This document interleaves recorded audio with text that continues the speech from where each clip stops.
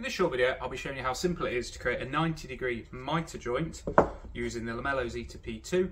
I'll be using tensos in this particular video um, and we'll be creating a joint, something like that. So the first thing we go ahead and do to get started is to figure out our settings for the machine. Uh, we go ahead and reach for the Lamello configurator wheel and we'll twizzle it round until we find our finished angle, which in this case will be 90 degrees. Again, we have a corresponding image to show you a picture of what the joint will look like.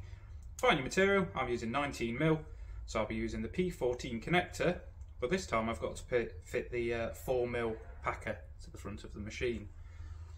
Comes with two packers in the box, the 4mm is obviously the thicker one.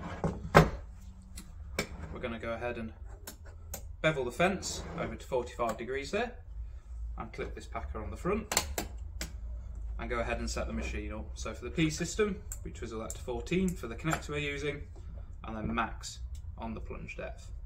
Next off, we're going to connect up our vacuum. Uh, I'm going to be using the cordless Metabo M-Class extractor for this. Uh, the great thing with this machine is it will auto switch on with any brand of cordless tools, but does take the Lamello Castle Irons battery system. Um, so we'll swivel the machine around, we'll start her up.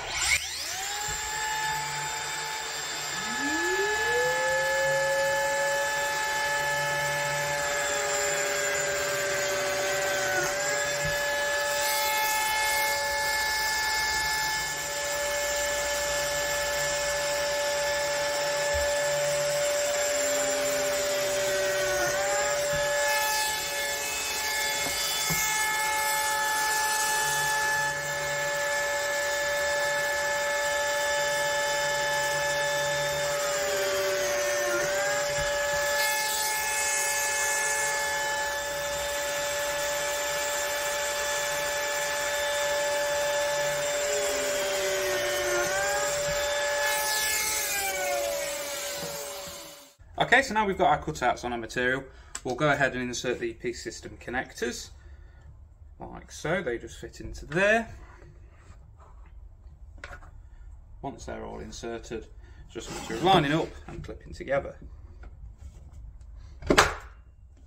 Like with the P system connectors, you get a little bit, of little bit of lateral movement, so you can push that along, make sure your join is perfectly flush, that way when the PVA you've put in there sets, it's not going anywhere. So there we have it. Hope this video has helped you in creating a 90 degree mitre joint using the Lamello Tenso connector. Thanks for watching. Be sure to like and subscribe to keep up to date with our future videos.